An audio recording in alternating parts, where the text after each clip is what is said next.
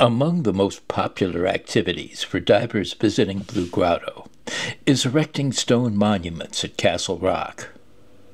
Building these is not as easy as you think and takes a lot of practice. One person who has mastered this art is Tracy Grubbs of Spruce Creek Scuba. Whenever Tracy brings a group of rebreather students to the grotto, they leave us with an incredible assortment of rock castles, like the ones you see here. We've featured Tracy's work before, but the stone edifices he and his students created last week were especially awe inspiring. Sadly, these intricate spires never seem to last more than a day or two.